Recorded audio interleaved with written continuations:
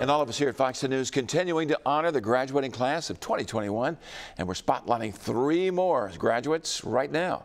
Our first graduate, John Mason Branum. John is graduating from Theodore High. Way to go, John. And next, and then here's Devery Smith. Devery graduating from Daphne High next month.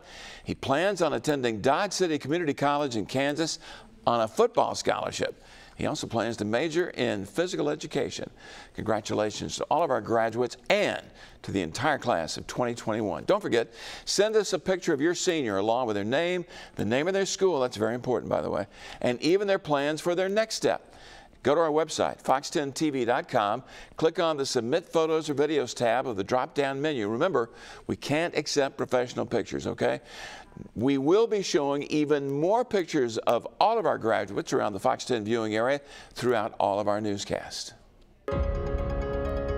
Saluting Our Seniors is sponsored by Arrow Exterminators, Prichard Waterworks and Sewer Board, Hanson Supertex, and Main Street Flooring and Design.